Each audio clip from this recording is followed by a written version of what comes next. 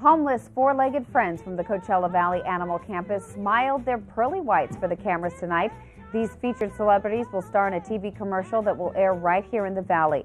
The message behind Rescue Me Dog International, or Invitational, is to illustrate that local animal shelters have amazing pets for you or your family.